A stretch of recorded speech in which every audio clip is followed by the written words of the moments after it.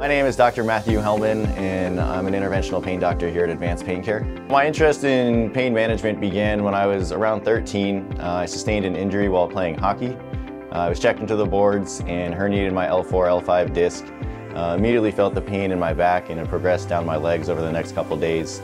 Uh, and I saw what a challenging process it can be to deal with something like that and try and work your way back. And luckily I was young enough that I was able to do a lot of my own physical therapy and exercise and recover from that uh, pretty, pretty early on. But it's kind of stemmed my interest in, you know, these become chronic issues over time very easily for people, and especially as you get older and older, it's harder to recover.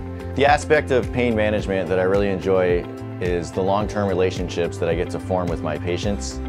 I did an anesthesiology residency, and while I loved anesthesia, you don't get to meet the patients really right until right before the surgeries, and you don't get to see the results of the surgeries or your anesthesia afterwards.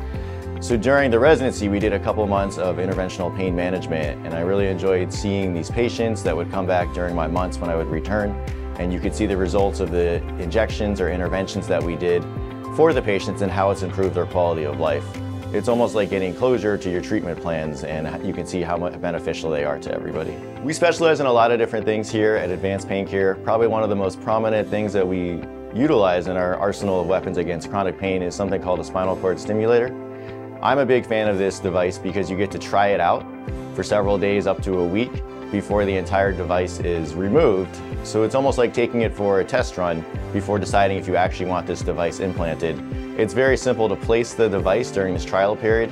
It takes about five to 10 minutes. It's essentially almost the same thing as doing an epidural steroid injection, except instead of injecting the medications, we're just gonna put a couple wires into the back instead and then pull the needles out over the wire and just leave the needles, excuse me, just leave the wire sticking out.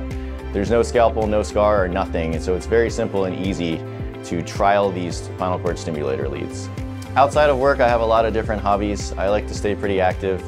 Uh, I'm on a sand volleyball league.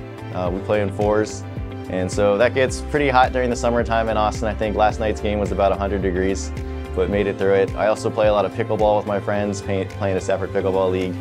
And then I like to take my dog on a lot of hikes, take her out to Zilker Park, let her run around. Uh, just anything outside I love doing and I think that's why I, I like Austin so much. If you're in pain, there's no need to wait. At Advanced Pain Care, the pain stops here.